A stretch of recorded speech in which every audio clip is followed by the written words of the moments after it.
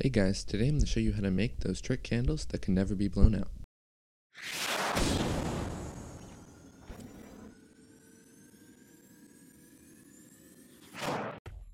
So for this project, you'll need a knife, a magnesium fire starter.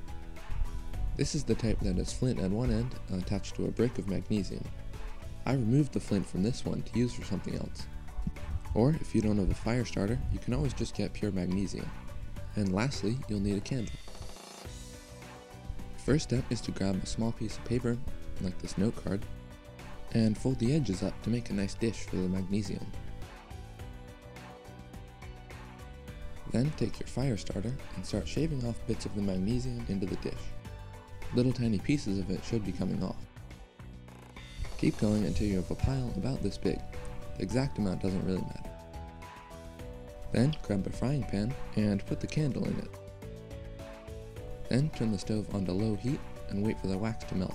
Another trick that might help this work better is taking your magnesium, pouring it into a bowl, and grinding it up into a smaller powder. Once the wax melts enough, the wick should come loose.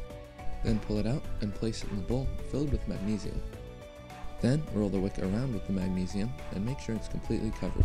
After the wax has melted and then cooled down, you can go ahead and dip the wick into the liquid wax. Now the reason it needs to be cool enough is so this doesn't happen.